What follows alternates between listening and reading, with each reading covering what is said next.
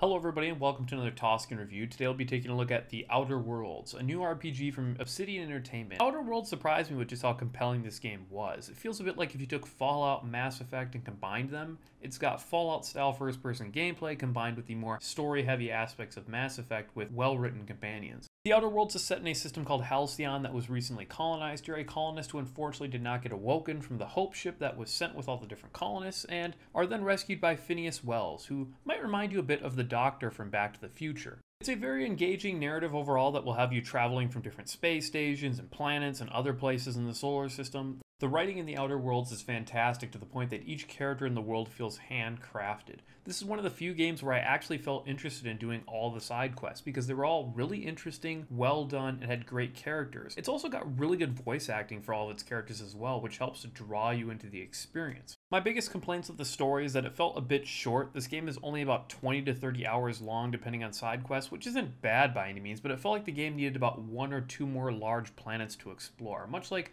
Mass Effect or Knights of the Old Republic, you're traveling between different planets, but this game really only has like two big planets and then a bunch of different space stations and really small maps that you'll run around. I also think there was just a little bit missing from the end of the game. It felt a bit abrupt, like there could be a, just a few more pieces added in there to really extend the game out a little bit more. It's not to say the writing or the story itself is bad. The story experience of the main story is really good as a whole. It's just the ending that feels a bit like it doesn't come together fully. I mentioned before how the writing is really good in this game. They've given you a ton of different options in the dialogue for how you want to talk or interact with different people. Even your companions can sometimes chime in and give their input, which is really cool. It makes them feel much more interactive and not just pets in the world. Sometimes you're even given options to use your skill points like science to offer a science solution to a problem or other things like that, which is pretty great. What surprised me the most is that this game oozes personality. Each of the locations you visit is themed in a way to represent what the area is going through and what its thoughts are. There's areas that look like bandit camps or more of like a religious ideology or a strict authoritarian or areas that are more open-ended.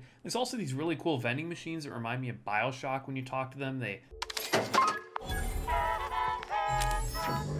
babble out random little slogans for the companies. There's all these interesting details about the different companies that make up the Halcyon world. It's just really well done from a crafting standpoint of a universe. It feels like this is an actual place. You start the game like any other RPG by creating your character, and this is probably one of the semi-weaker areas of the game. The character customization from skills to stats is perfectly fine, but the character options are not the greatest. And frankly, from a graphic standpoint, Outer Worlds is not the greatest looking game in the world. It's not bad either, but some things like the facial animations and others are just not the greatest. And so creating your character can feel a bit clunky and frustrating. Character progression in the Outer Worlds is handled by leveling up just like any other RPG as you would expect, but in the Outer Worlds, your stats are combined into groups of three. You can level up each group together until they hit 50, after which you have to specialize points into that particular skill. I like the idea behind this because it allows you to experiment with different options without committing yourself completely right away. It also opens up gameplay options since some missions can be completed in multiple ways, allowing you to utilize these different skills that might not be 100%, but are still good enough you can use them.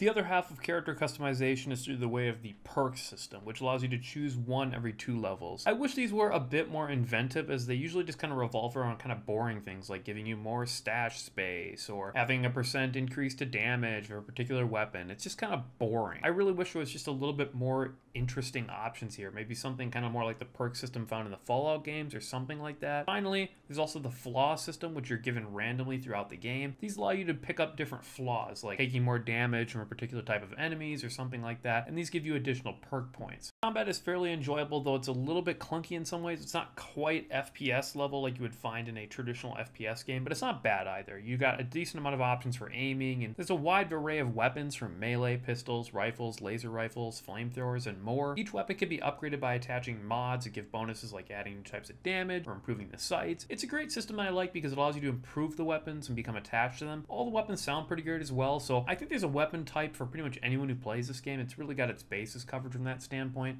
The enemies are pretty fun to fight and well detailed, though I do wish there was a little bit more variety. There's humans with different guns, which you'd find in any other game, and not really a whole lot else. You've got a few different types of drones, some bug monsters, and that's kind of just about it. There really needs to be more variety here in this game. The visuals of Outer Worlds look pretty good for what they are, but they're a bit dated. There's rough textures at times that can feel ancient. It's not really enough to distract from the game. It's still gorgeous to look at sometimes when you're looking at different sites and things, but it just feels like it's a bit dated. Overall, Outer Worlds was a ton of fun, and I would recommend it to anyone who likes RPG games. If you like games like Fallout, Mass Effect, Knights of the Old Republic, you're definitely going to love this game because it's kind of like smashing all those together. It's got pretty fun combat with an interesting story and cast. I love the companions in this game. You've got a bunch of different companions you can get throughout the game, and they're all really well detailed with their own companion quests, fantastic voice acting, and really engaging overall. They really feel like they become your crew.